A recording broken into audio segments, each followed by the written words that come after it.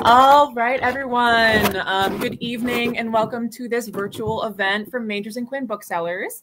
My name is Steph, and I'm a bookseller here. For those who aren't aware, Magers and Quinn is a small, independently owned bookstore here in Uptown Minneapolis. If this is your first time at one of our virtual events, welcome. We're so thrilled to have you. And if you are returning for a second or third or however many virtual event, welcome back. We really appreciate you supporting this program as we can support these amazing authors. Um, so this evening, I am so thrilled and privileged to introduce four authors for you all, which is so exciting for the sci-fi panel. Um, so let me go down and run out their intros. Um, Jennie Goloboy is an author of speculative fiction and history. She's a published short fiction. She has published short fiction under her own name and her pen name, Nora Fleischer, including a short story that is now out in Fantasy and Science Fiction magazine. She's also published a monograph and essays about early American economics and culture. She lives in Minneapolis and with her husband and two children and works as a literary agent. AJ Hackwith is a novelist, essayist, and author of the acclaimed Hell's Library fantasy series. She's also written sci fi romance as Ada Harper, and her work can be found in Uncanny Magazine, on Tor.com, and several, in several anthologies. She lives in a particularly cluttered hobbit hole in the Pacific Northwest. John Appel is a longtime information security pro turned writer. He's a former U.S. Army paratrooper, historical fencer, rum enthusiast, and tabletop gamer since the Carter administration. A lifelong Marylander, he lives with his awesome wife and two fantastic adult kids in the Baltimore suburbs. Last but not least, Amber Bird is a writer, a rock star, and a sci fi simulacrum. The author of the Peace Forger books, gripping near future sci fi, a published poet, the front of post punk, post glam band Varnish, and half of the transatlantic autistic musical duo The Companions, an autistic introvert, um, an idealist, a geek, and a dreamer who was and still is saved by others' art and is trying to return the favor a lapsed actor, and yes, the model for the Elves of Deep Shadow magic card. All right, so now that I've introduced our four amazing authors, please sound off in the comments, introduce yourselves, tell us where you're tuning in from.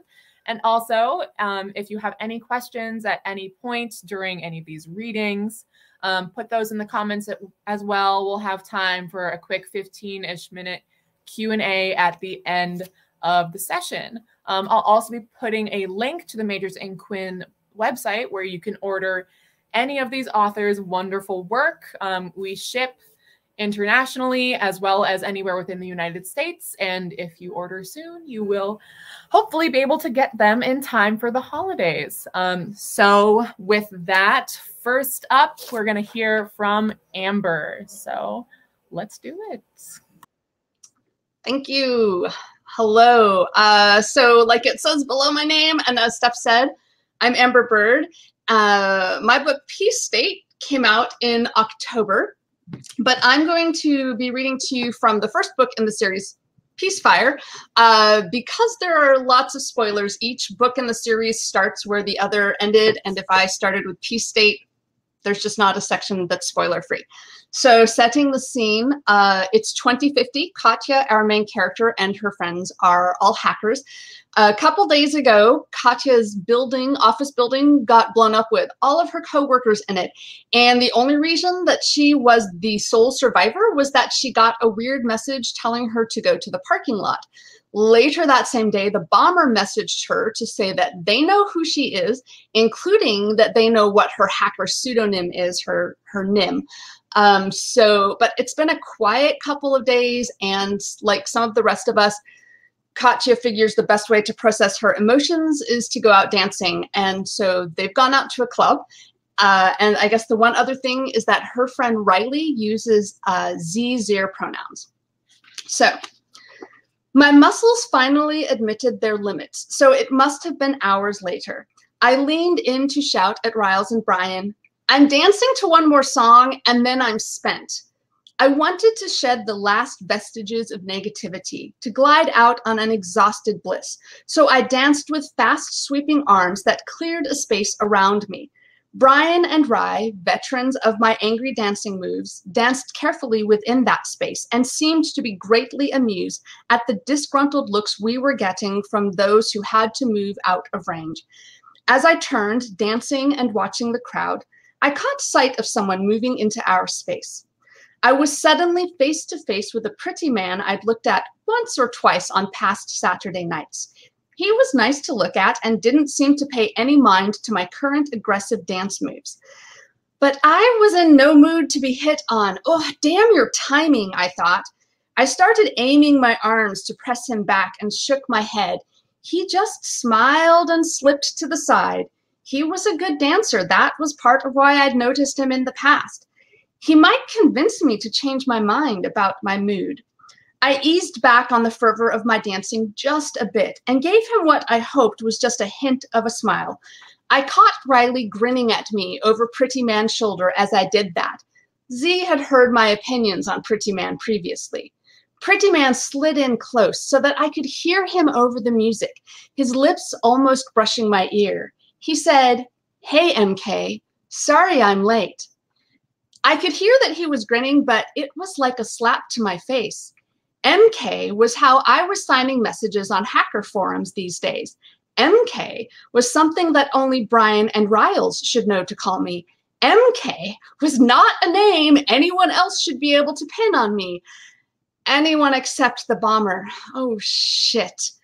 I sensed Brian and Rye giving me and Pretty Man a little space, assuming this was me maybe having a chance at some tension relieving sex. Shit, shit, shit. I tried to catch Riley's eye and was relieved when Z noticed, and concern fell onto Z's face. I'd kept sort of dancing with Pretty because I wasn't ready for this, wasn't ready to me to choose a reaction. I felt all the fear I just danced off shoot its way up my legs and squeeze my organs with thick fingers. In a flash that seemed like it lasted for ages, I felt old defenses slide in. I was not myself. I was a character in Dune, a book I'd loved since I was a kid, and the mantra for dealing with fear from that book started to spin in my head. I must not fear. Fear is the mind killer. I let go of being Katya because Katya had no fucking clue what to do. I let myself become Paul Atreides, who'd overthrown a regime, ignoring that I'd had none of his physical training. Katya would have run. Katya should have run. A voice in my head was screaming at me that I was being really fucking stupid. But the delusion that was helping me keep my shit together told me that I'd regret it if I didn't catch the bomber when he was practically right in my damned arms. The delusion spurred me to really fucking stupid action. I thought I caught motion that I hoped was Riles and Brian moving in, creating a bit of a barrier between us and the other dancers, coming to my rescue. After he spoke to me, as soon as I realized that this was my bomber and my delusion took over, I followed one of my dancing moves through, spinning myself a bit to the side, just enough to let me easily grab the man by the throat and then move back in. I took advantage of his proximity to push a gun into his chest as well and moved my own lips dangerously close to his ear. I think this is a conversation we ought to have somewhere a bit more private, don't you? I wished I felt as badass as I sounded. I had stopped dancing. So had a lot of people near us. I could hear my friends talking to those people over the music, surely explaining to those nearby that this was an ex boyfriend and there wasn't a problem. He liked rough stuff. We'd used that line before. It must have made sense to most people because they went back to dancing but kept an eye on me and the man I held. Maybe they'd get a show. They'd love that, and I might like to provide it. I was riding the adrenaline that comes when you do something brave, really fucking stupid, in the face of fear. I was starting to feel cocky and angry. I once read that anger is a secondary emotion. When we feel it, it's really just there as a protection against some more vulnerable emotion we're feeling. For instance, if you're afraid because someone just blew up your workplace and you're feeling vulnerable because that same someone seems to have hunted you down, tracked you to locations they shouldn't know to find you, you might feel anger. You might, when face to face with them, feel nauseated that you'd previously considered making eyes with them, and to cover that nausea, feel a tide of righteous anger rising in you. And by you, I mean me. I leaned in until my nose almost touched the man's nose. My jaw was hard, my teeth clenched both in anger and to stop them chattering from the fear I was covering. I was grateful he wasn't fighting this because I knew perfectly well that I wasn't half as physically strong as I was acting.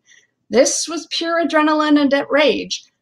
Let's find a nice corner. That will give me two different walls to slam you against. The man's smile only wavered a bit, and he let me push him backwards through the crowd towards a corner. Seeing where I was headed, Brian pushed ahead, clearing the path and clearing away anyone already leaning in the targeted corner. Riley followed, no doubt spreading assurances that this was sexual, not homicidal. In the corner, the man found himself fenced in by us. He didn't smile quite so much, but still sounded confident as he tried a joke. Next time I'll call before I come over. No one else seemed amused. My hand was still holding his throat, and I still had a gun pressed to his chest. I was doing my best to make sure I didn't look at all friendly and that neither hand started shaking. We'll start with your name and we'll keep asking questions until we're done. If you don't feel like answering one of the questions, we'll find something else to do my tone made it clear that something else probably did not involve rainbows and puppies. I wasn't sure what it involved, but he didn't need to know that. He looked around at our three grim faces, dropped the smile, and nodded. Name is fair enough. I know who you are. He paused a beat to let that sink in and pretended not to notice my hand applying a little more pressure to his throat, the gun pressed a little more firmly. He still had the nerve to try to extend a hand as if for a handshake. Hi, my name is Johnny. He gave a quick smile, like you would if this were a normal situation, which it so fucking wasn't. When he realized a cheeky grin and an extended hand weren't getting a response, he put his hand down but left the grin on his face. Was it a slightly forced grin or was that my imagination? He added, my NIM, which you probably recognize from certain forums and conversations, is Space Goddity. I did recognize the NIM. No doubt my friends did as well. This tidbit of information made things a bit less confusing. If anyone had the skills to find me, it might be him. So you found me online we worked together online and you started trying to hunt me down IRL, thought I'd appreciate that more than, say, a discreet email. As if it hadn't been obvious already, my tone made it clear that I did not appreciate this more than email. But just to make sure he got it, I railed, For fuck's sake, when someone you're interested in seems stuck in a shit job, you send flowers, not a motherfucking bomb and to see if Katya ever takes her uh, hand off of Johnny's throat, please check out Peacefire, the first of the Peace Forger books, and the rest of the series. Thank you.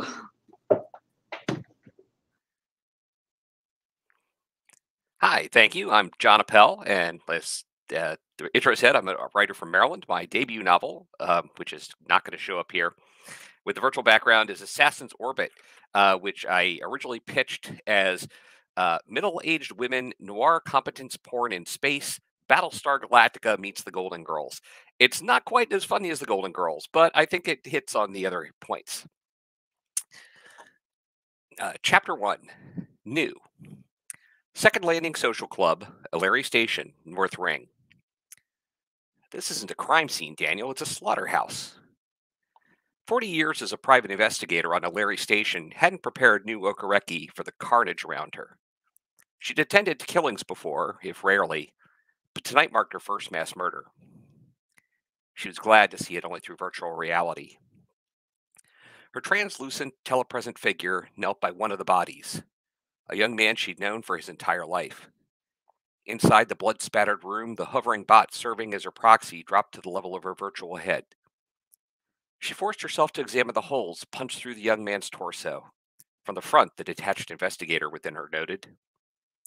His head lay facing towards her, eyes still open, face slack. Next to his right hand lay a stunner. He'd managed to draw at least before being cut down. Other constabulary bots ranged about the luxuriously appointed room, cataloging the plentiful evidence. The bots were the only things moving. The people inside, what was left of them, would never move again on their own. Another hoverbot slid into position nearby, and Detective Daniel Imoke's lean shape winked into being beside her own virtual body. It's Saeed? he asked. For formality's sake, she guessed, and the official record, Imoke had knew, had known Saeed practically since birth. Only a little less time than she had, really. Noor gave a reluctant nod, caught herself, then vocalized for the record. I confirm the victim's identity is Saeed Tahir, employed by Sharif Security. Her business partner's grandson and practically a brother to her own children. Her virtual form rose as she surveyed the room. Eight other bodies lay across the floor or slumped in their seats. All the victims she could see had been shot in the upper chest. Two had been shot in the head as well. Uh, the killer was trained. He wanted to be sure of his kills? Blood was everywhere, splattered across the top of the game table, the walls, the carpet, the bodies of the other victims. The great aching emptiness in her chest warred with the urge to vomit. Uh, pull it together.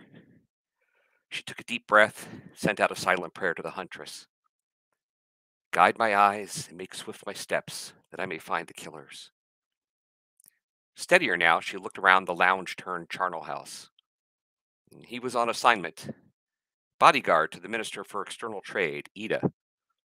She peered at each of the victims seated at the card table in turn. She knew Ida's face from the media feeds, but didn't see him among the dead. No, wait. She looked more closely at one of the seated victims, spotted the New Horizon party emblem embroidered on the left, bre- left breast of their yellow caftan. She pointed. That this is Ida, I think. Imoke's own face stayed impassive. Unofficially, it is, he said. Noor stood and traced the path between Saeed's body and Ida's, trying to estimate where the shooter or shooters had stood. Saeed's form lay squarely in the path between Ida's body and where she judged the assassin's position had been.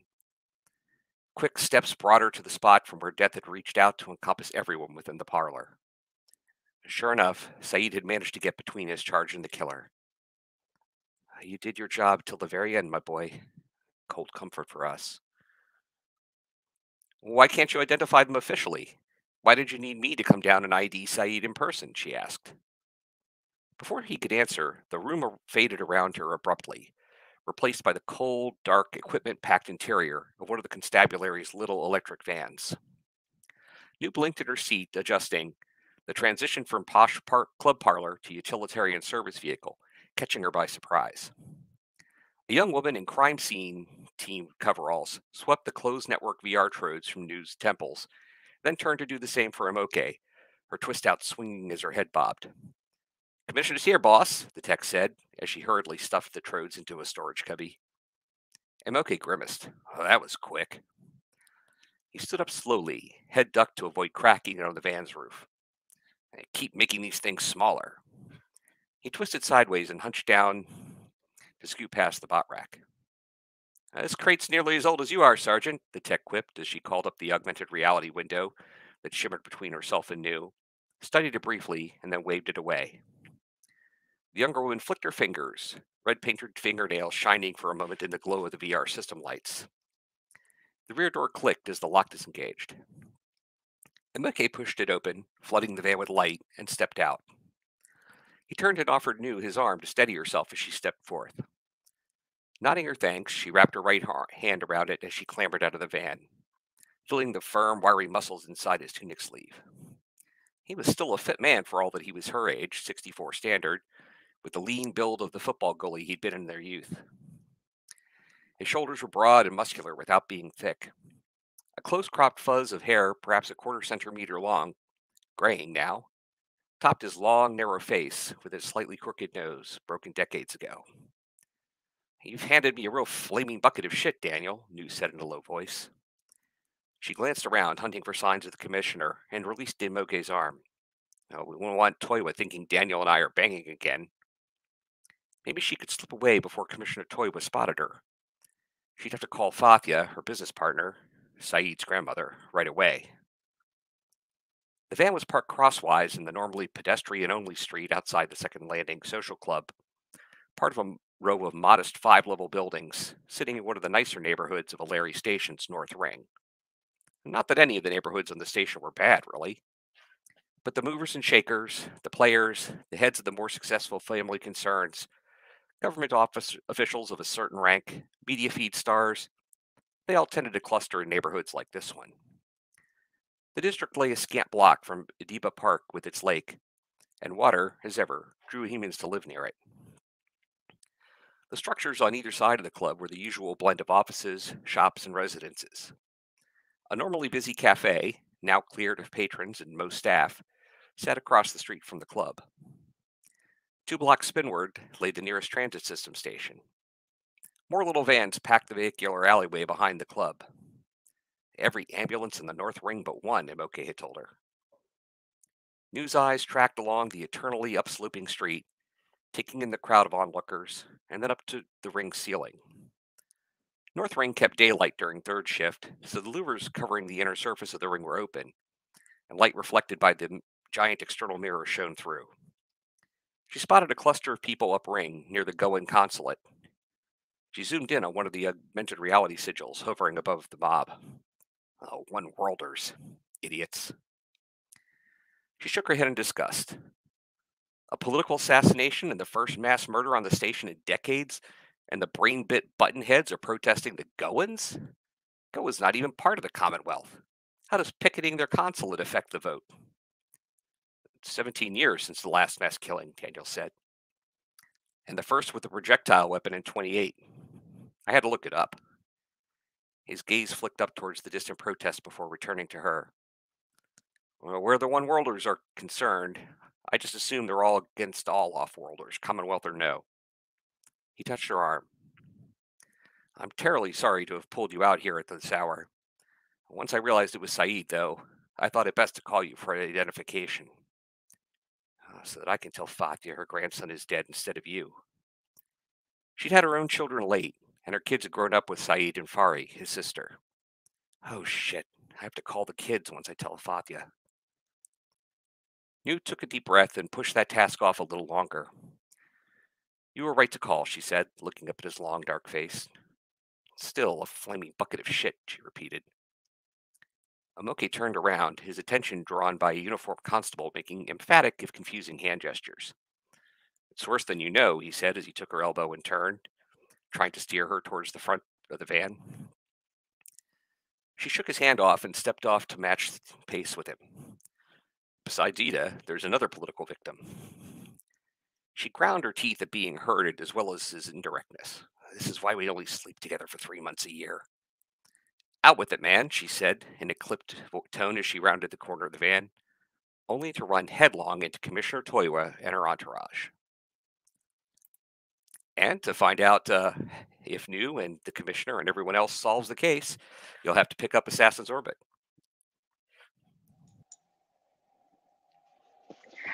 All right, I'm AJ Hackwith, in case you forgot from the introductions. And uh, The God of the Lost Words came out uh, in November. It's the final book in the Hell's Library trilogy, which revolves around the Library of Unwritten written Books, which resides, of course, in Hell.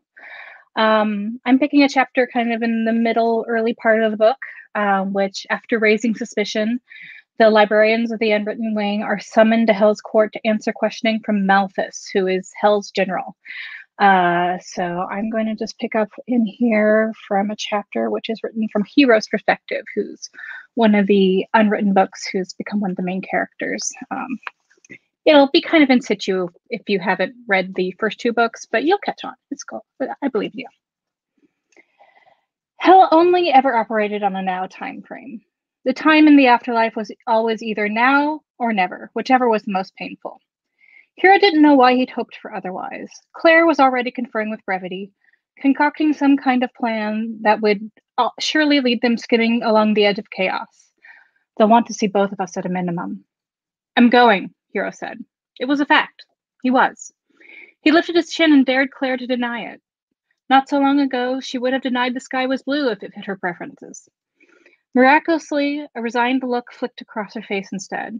Claire screwed up her nose and frowned at him for a long moment before nodding. Fine then, we'll all go together. Together.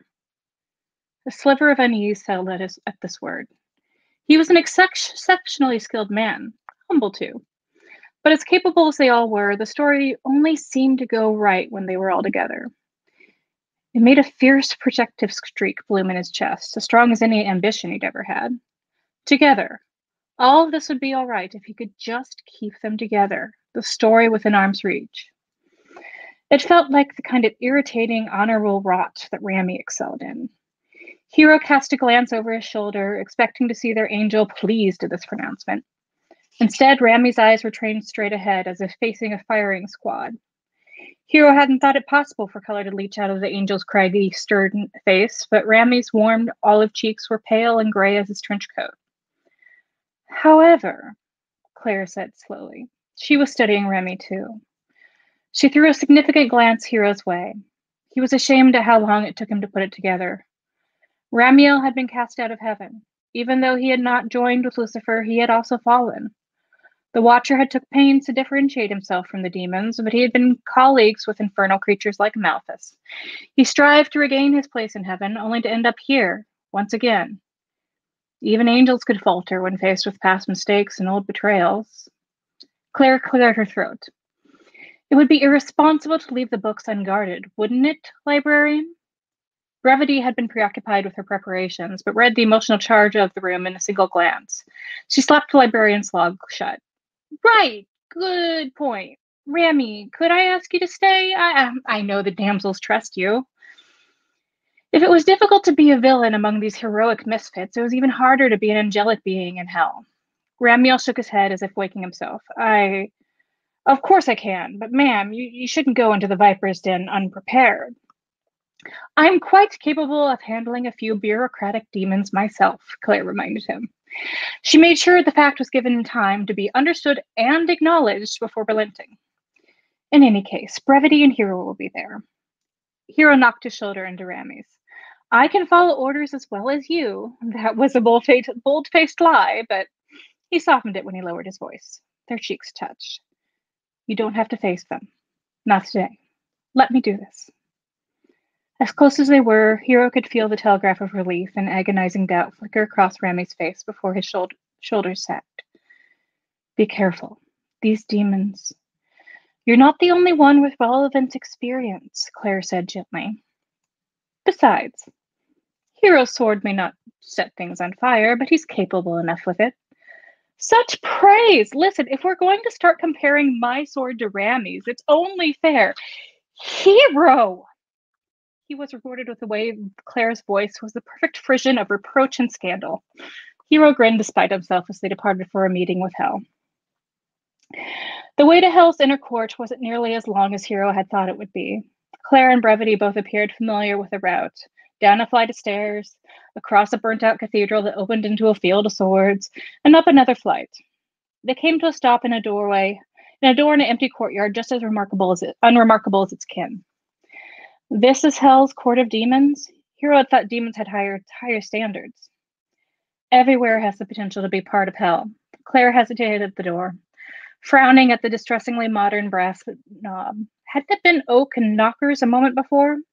Hero mistrusted changing architecture, which is why he listened when Claire began speaking low and urgent. Hell's court is a traveling one. It never convenes in the same place twice. Any place that has seen the worst of humanity has to offer, any place that's seen the worst that humanity has to offer can host Hell's Court. They simply snip a pocket of time from it. The moment an orphanage is burned, war is waged, or a boardroom has voted some people not worth saving.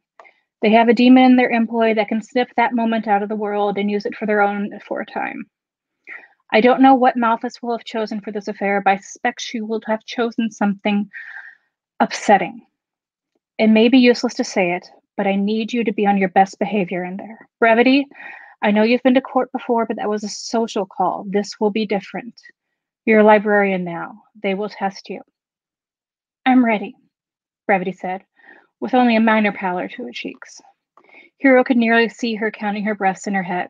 Four in, four out. Practiced and in control. He admired that in the little muse. Then let's go. Claire took a stealing breath for herself and opened the door. A familiar musky scent assaulted Hero's nose the moment he crossed the threshold. His childhood had been one of rural poverty, so his first thought had been barn. An ill kept barn at that. The smell of nervous animal was familiar urine and sweat and the vague tang of exhaustion, but it lacked any of the fresh smells of the barn. No must from old feed, no sharp cut of green hay in the mow. It was a smell of beastly treatment, lives made sour. The ground beneath his toes was gritty concrete, however, and the lights overhead were modern and apathetic, buzzing with a hand kind of light that didn't reach the far walls. No windows broke the gloom, and the concrete walls only radiated a chill into the air. There were no animals to be seen, but metal chain link fencing rose in the center of the room, dividing the large space into square pens. Concrete would be terrible for living creatures, Hero's distant childhood reminded him analytically. Too cold, too hard on the feet. Perhaps the vague shadows he could make out on the floor were intended to be padding? When he approached the pens, the smell of urine increased. Security cameras lurched like vultures at the top of the fencing. What is this? A cattle pen? This is some spot of great evil? Hero used his best sneer and made sure his voice carried. Yes, it is. Claire's voice was subdued. Hero followed the line of her gaze through the chain link. There were indeed some kind of cheap foam pads amid the piles of tissue thin silver fabric that reflected and scattered the cold light and fractured shadows. Nestled forgotten under the nearest pile was one small sandal, child sized. A squelched noise escaped Brevity. Brevity. She stepped back, edging closer to Claire. What is this place? I don't know, Claire said quietly. quietly. It's too modern to be anything from the Great War. The war. As if there ever was just one. An old voice, soft voice, gently creased with malice, reached them from the other side of the cages. Malphas stepped out of the gloom. The general of Hell's forces was deceptively matronly, gray haired and wide hipped in rust red leather, with the crow's feet at her eyes bracketed a sharp, cutting gaze. But you've been dead a while, Claire. I suppose this was after your time, and you've been too busy with your books. Pity you can't appreciate it. You and I have different values of appreciation, grandmother of ghosts. Still with that nickname. You can call me General here, Malphas clicked her tongue. In an instant, the title was true. She wore a dress uniform, though Hero had no hope of identifying the army. He recognized the primary color flag patched on her shoulders. Other shapes moved in the darkness, indistinct and black clad. Her, his eyes was adjusting to the gloom. A pair of ch- children's underthings, soiled, was caught on the chain closest to him. The air was tangy with sweat and sick. Hero had the distinct experience had distinct experience with the possible evils conducted in the trappings of uniforms and authority. He'd led armies, worn crowns once upon a time, but this place took even his breath away. The gates on three of the pens swung open on sour hinges, one for each of them. Oh, hell no, Hero whispered with emotion. Is this really necessary, Malphas? Claire did an admirable job of sounding bored. General, Malphas's smile was chill as the cages. I'm afraid it is, girl. The last demon that called me girl is now an ornament in the arcane wing. Claire let the fact hang before stepping forward into the leftmost pin, like an idiot. Brevis, Brevity followed her lead, cautiously inching into the middle pin. Hero resisted the urge to scream at them for being foolish, foolish, and worse, being heroes. And then he stepped into his own. Enter Hell's Court uh, by picking up, well, picking up the first two books in the series and then finding out more in The God of Lost Words. Thank you.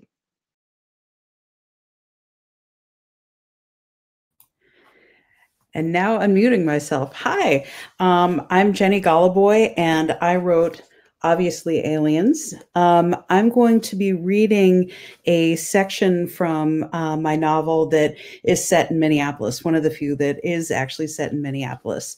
Um, the book is about a a professional thief and a commercial artist who uh, have to work together um, because there are a whole lot of aliens headed towards Earth and uh, they have to help them. Um, in per- this particular scene, um, Adam Shapiro, the professional thief, has been recruited by Ben Nakamura of the Committee of Alien Contact, which is part of the F- FBI. Um, he works as a contractor for Ben.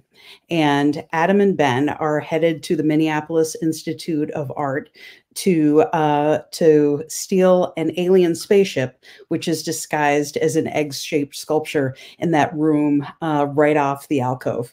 Um, if you've been there, I think you'll recognize where I've said everything. All right.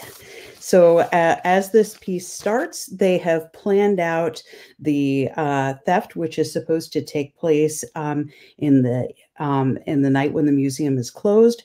Um, the planning has gone really well, a little too well for Adam, who is kind of a daredevil. The happy, excited feeling that had followed Adam ever since he and Ben had left Roswell had worn off. This was too simple. He wanted to do something a little stupid to make this all trickier. But no, he had to be reasonable. This was a job, right?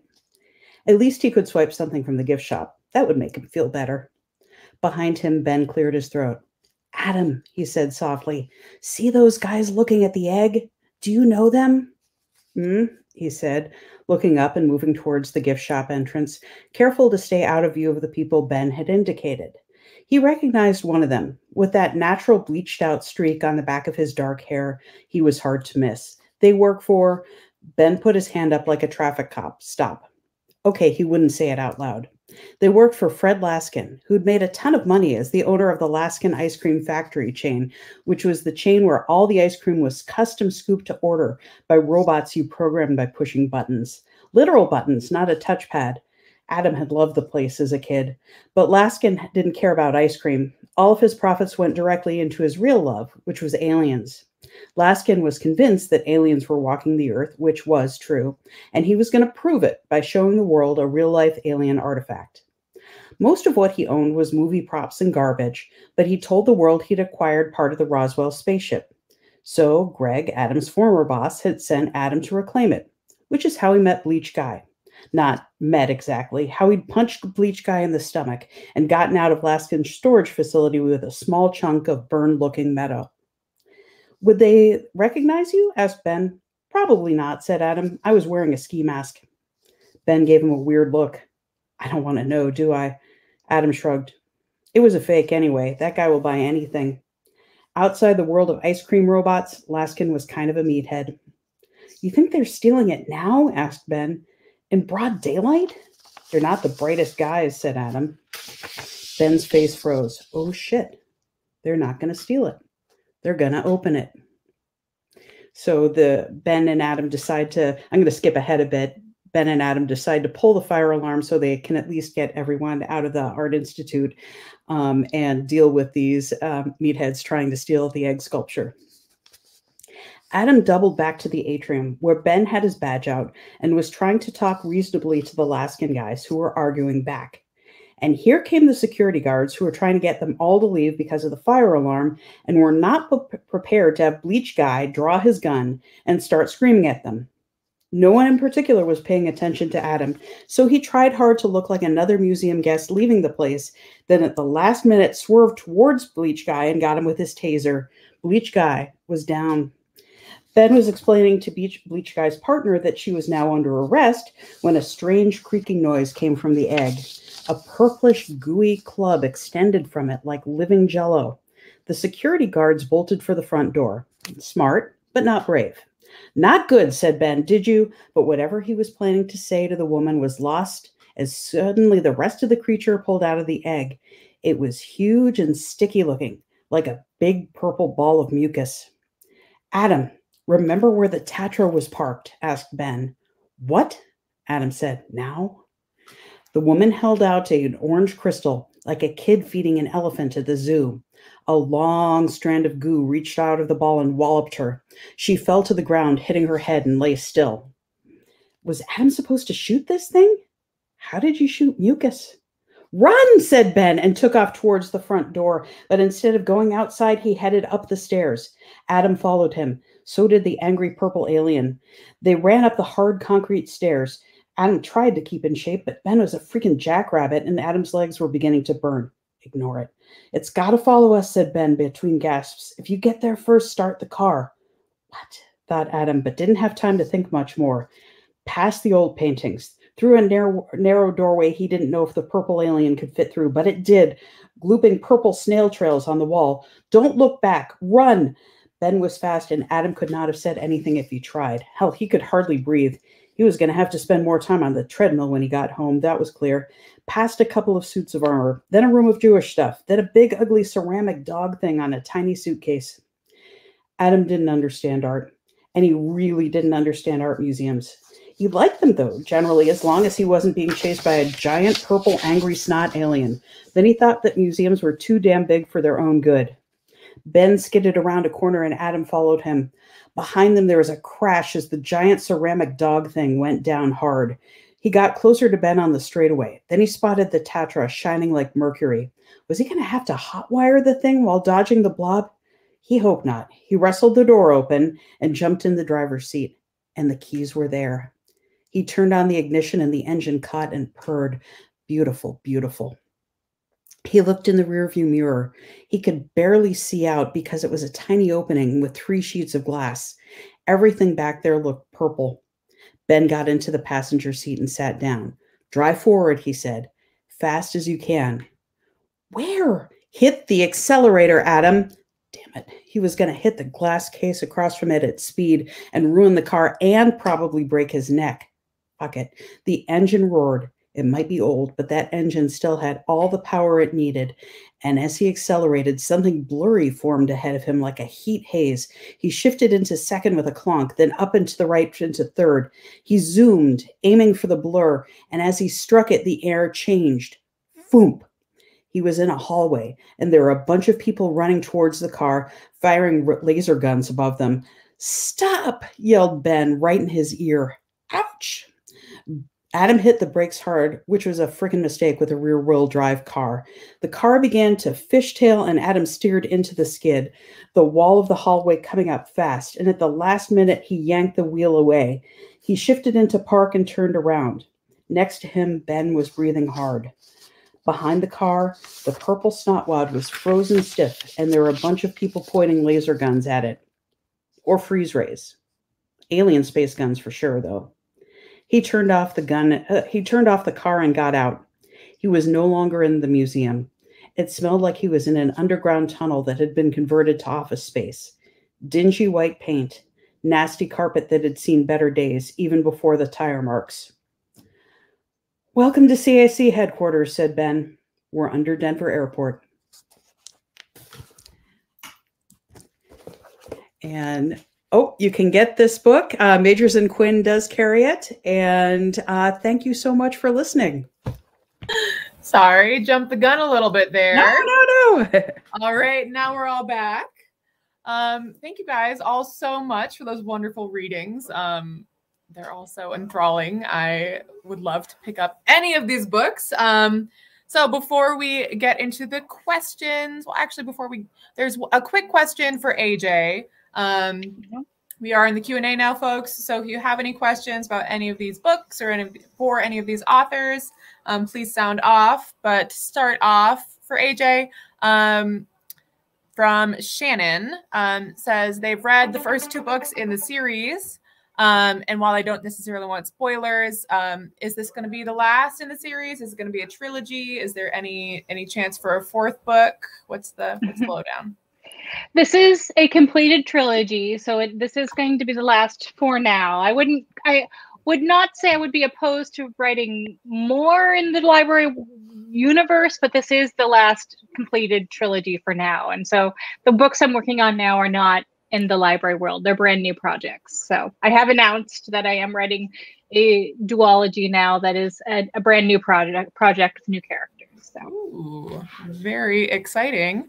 Um, we've just got a bunch of, of thank yous in the chat. So while people maybe gather their thoughts, why don't we go around the, the circle here? And I was just kind of wondering um, if everybody could like touch on what their initial like goals were in writing each of their stories, these books. Uh, maybe starting with Jennie.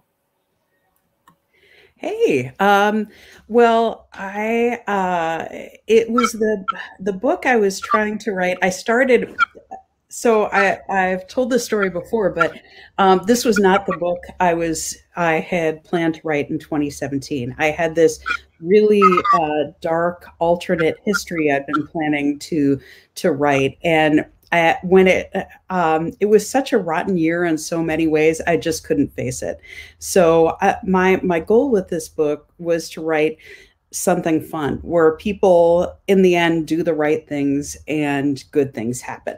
And it's supposed to be a light easy to read kind of happy book. Um, and uh, hopefully i got there. So that that was the goal that sounds awesome and exactly like what we need right now. um, so let's hand it off to John. Want to talk about kind of your your goals for your story there? Yeah, um, I've been trying to think of. I, I I don't know that I had like a specific thing in mind. Like this is the story evolved for me. I started uh, working on this in 2016, and this was originally a sequel to a book that didn't sell, and uh, I reworked it. Um, the the big thing with this book, eh, eh, the the overall shape of it had um, kind of came to me. You know, it, not the whole outline, not the entirety, but like the overall arc of it came to me pretty quickly. And um, it started originally was going to be kind of a buddy cop bit, which it kind of is, but it started out with two different characters. Uh, one who we didn't get to meet in the intro, uh, Ogawa, uh, is an old another older woman. She's 64, 65 or something like that, and is a spy who's had her cover blown. And originally, she was going to be working with a much younger partner. Uh, and then Noor came to me. I needed to like invent a character to be a mentor to this younger character. And she just kind of popped into my head. And I have described her as Betty White, space detective uh, she kind of popped into my head full form and pushed the other character back down into secondary status. And it kind of then evolved into the buddy cops of older women kicking butt in the space stations and on the planet and as things explode and, and go bad. And so I kind of leaned into it then and and was like, okay, well, let's take these people and um, uh, way way back i'll show my age here uh, there were these stories of a retired woman who becomes a courier and then a spy for the cia a retired housewife called mrs Pollifax. and they're very very funny stories jennie has read them i think and they're very very funny stories hilarious um, I didn't go for the humor side, but like Mrs. Pollifax finds herself in all kinds of weird adventures, and she's turns out to be surprisingly competent. I'm like, why can't I know lots of older competent women? Let's let's have them kick some butt. Yeah, that sounds so awesome. I love the idea so much. Um, AJ, how about you? Um, to finish the trilogy. it was my first time um, trying to close out a trilogy, and I really, you know, well, every author does not want to disappoint readers who have enjoyed the first two books, and so I wanted to really, uh, you know, do just give everyone the satisfaction especially the, not everyone is in the readers but everyone has the characters the satisfaction of a proper ending um, i knew about early on into the second book exact kind of the the closing image of where i wanted the trilogy to end and so i think as i was writing book two and book three i wrote book three during the early days of the pandemic i was finishing it up during 2020 during the pandemic. And I really wanted a hopeful revolution. I wanted a hopeful end. And so I made it, I think I my goal was to make include a lot of hope punk themes throughout the book.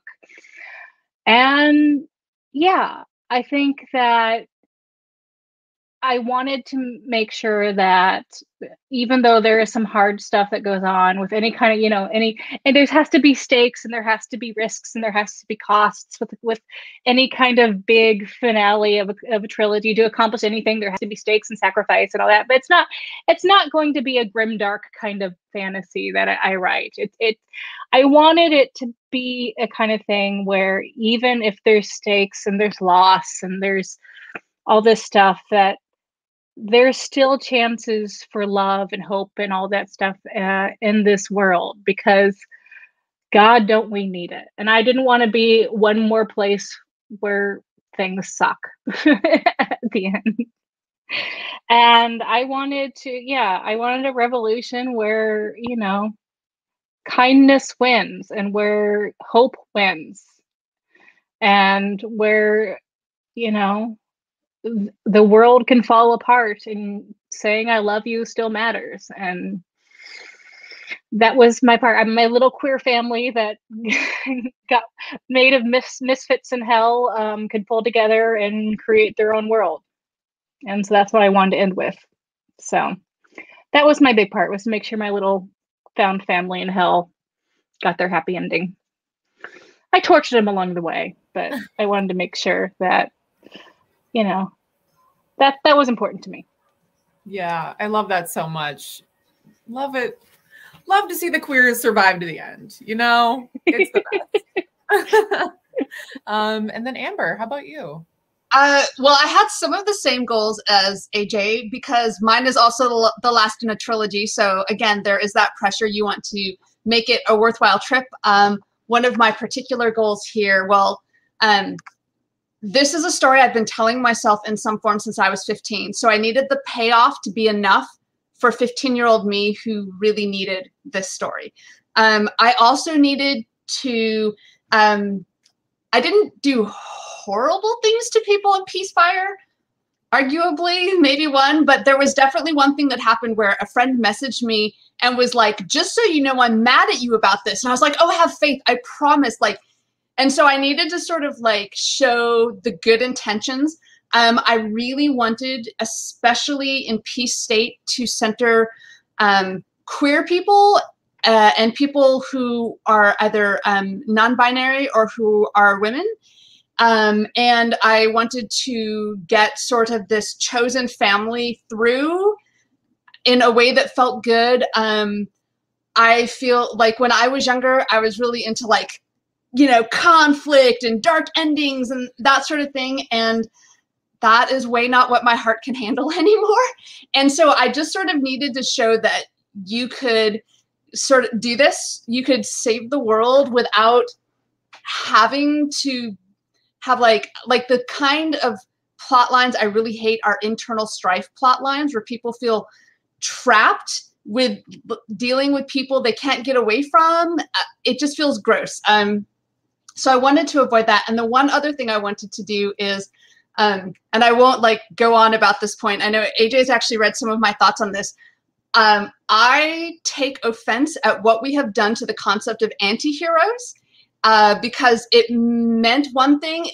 The the denotation of it is one thing, but we've gone on to be like, oh, anti-heroes, they're all, you know, like you're they're horrible people. And I wanted a book that was and and I, I know I'm not alone in this because I had this whole massive conversation with another writer, and I took notes about like the evolution and what an anti-hero really is if you look at definitions. And uh, so, and I think it's also kind of a hope punk thing. Like I needed to show that an anti-hero, not your common like rides in on a white horse with a crown, perfect, flawless.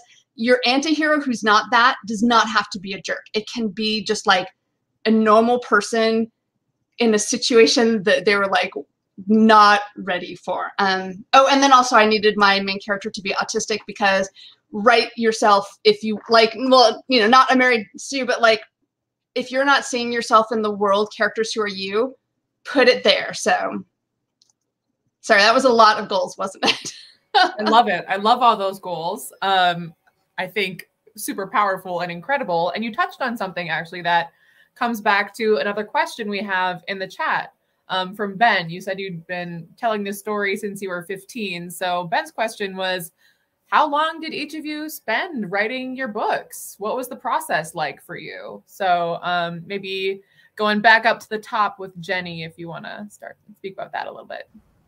Sure. So um, the first, uh, this book actually started as, uh, as a theory. Oh, I have this great idea. I'm going to write a quick little novella for National Novel Writing uh, Month, and it's going to be great. And then I'll just, uh, and then I realized, uh, and I ended up putting it uh, up like it's a really early draft on Amazon to sell. And I thought, yeah, this isn't done.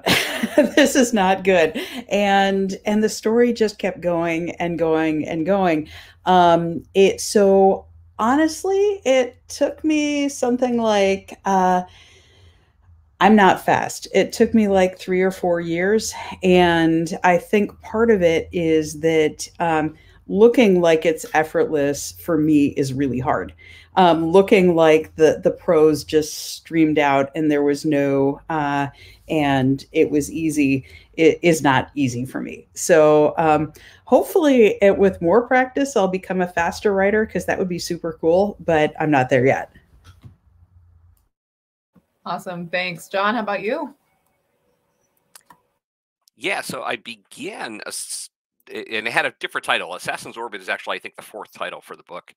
Um, but it was actually surprising once my agent and I came up with it, it stuck through the publisher. Uh, I want to say, like, so I started writing the very first version, and I was actually looking for my tracking sheet that I used to keep track of, like, what I write and all that.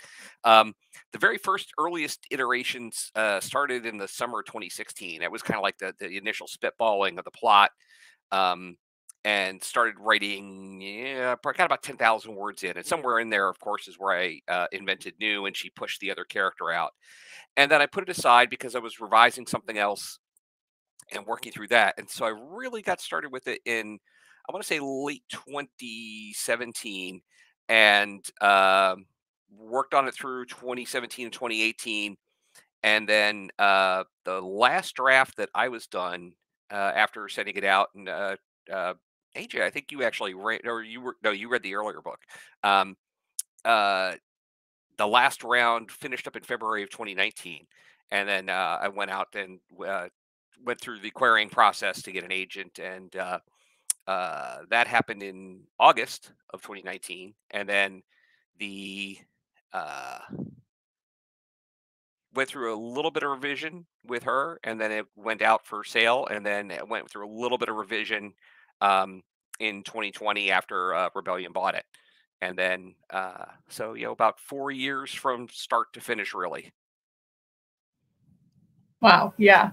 Quite a process, sounds like. Mm-hmm. Um, AJ, and you've been working on a trilogy. So I imagine you've been working for a minute or two. How about you?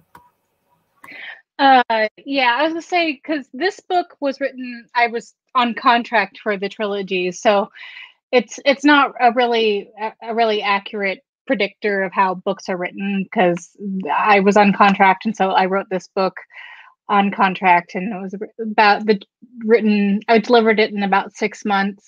Um, but what the the first book in the series, The Library of the Unwritten, do I have that somewhere here? The first book in the series, which is The Library of the Unwritten. Um, I wrote that the initial draft was was actually written pretty fast. I only did the first draft in about four months. But if the thing you got to remember is that the, the writing is the shortest part of the entire process of being published. Because um, once you write write the book, uh, that's that is just the first part of a very long process. You're going to be so sick of that book by the time it's actually hitting the shelves because you are going to be editing it and revising it so many times. Yeah, after you you sell it even. So um, yeah, I, I wrote the draft, edited it a few times my own. I took it to Viable Paradise where um, Jennie and John and I, I met Jennie and John. We all went to the same uh, writers workshop together. Uh, and it was shortly after that I got my agent, and I thought, well, got my agent, no problem. We're gonna, I'm done with this book. We're gonna sell it and, and move on. And uh, not quite. it was still about I think it was like a year after that we fi- we finally sold it to our publisher, and even then after that there was still I, I had revised it with my agent up till then, and then there was revisions after my publisher and all that. So yeah, there's there's always how long it took you to write the book, but then you should please keep in mind that even after you write the book, there's going to be many months, if not years, of work with editors and agents and all sorts of people if you're looking to get it published. So,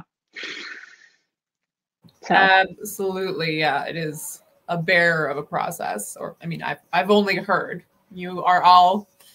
Thank you for going through that and putting your work out into the world. It's a beautiful thing. Um, and Amber, I kind of want to hear this story about this story you've been telling yourself. Yeah, I mean, so I guess like the thing I want to hammer home before I say how long the first draft of Peacefire took me to write is that um kind of my first draft of any book I write is like a mental draft and Peacefire had the advantage of when I was 15 I kind of started building the story and I just sort of it wasn't like it was the only one I constantly told, but it was one I regularly went back to and changed to fit kind of what I needed it to be. So I mention that only because I wrote the first draft of Peacefire in nine days. Uh, um, and be- it's just because of the way my my brain works. Like I get artistic flow and autistic focus, and um, I I don't really write well like like typical writers write in like the evenings after their day job or tiny bits and pieces and my brain won't do that. So what happens is i have to set aside a week or two weeks to like put a whole draft out. And once that first draft is out the revising is is a is a faster process for me. Like i can do that in small chunks or i can you know like do a revision in you know like five to seven days as opposed to needing two weeks um, but my first drafts tend to get done in nine to 14 days. But then again like like amanda said like then there's revising and there's revising and there's revising and then a beta reader and then revising. And so like i i am like when i say nine days those of you out there who want to be writers don't die. Because it's a word vomit first draft that i've already told myself like innumerable times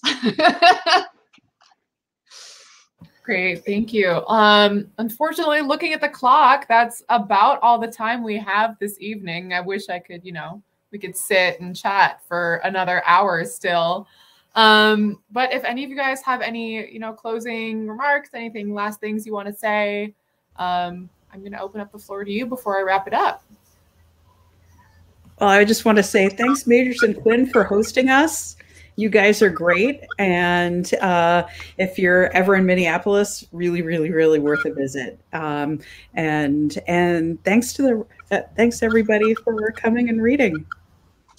Um, yes. Yeah, thanks to Magers and Quinn. Thanks, uh, thanks Jennie for inviting me on board. Thanks to everyone who watched and who commented. And we're sorry we didn't get to your questions. Yes, and thank you to the readers you're why we can keep on telling stories. So thank you. yeah, just echoing what all the others have said. thank you so much, everyone. All righty. So again, I put that uh, the link to our website uh, in the chat. So if you'd like to purchase any of the books that were read from this evening or any of their previous works, you can do that there.